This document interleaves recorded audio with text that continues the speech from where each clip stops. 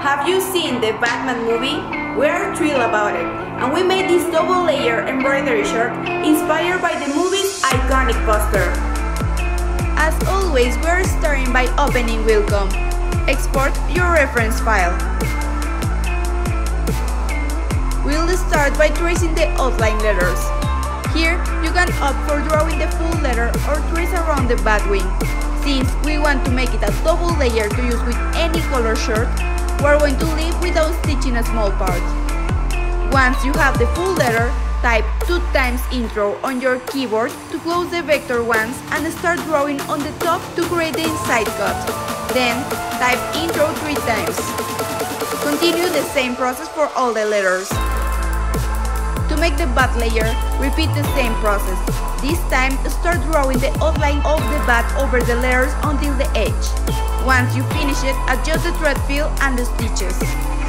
Keep order to the embroidery project. Remember that the full letter is on the base layer and the bat silhouette is on the top layer.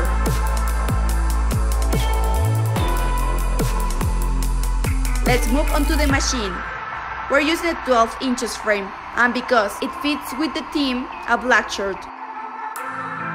Hoop your shirt and place it into the embroidery machine. On the touch panel, select your design, the frame, the thread colors, stitch speed, and press start embroidery.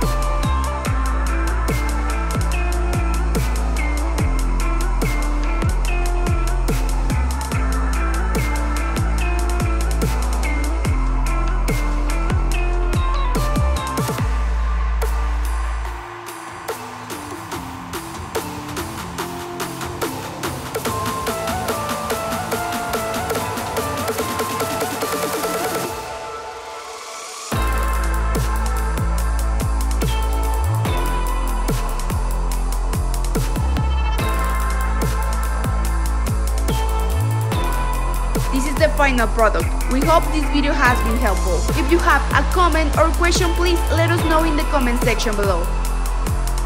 Thank you for watching this video. Don't forget to subscribe to our YouTube channel and follow us on social media for more content like this.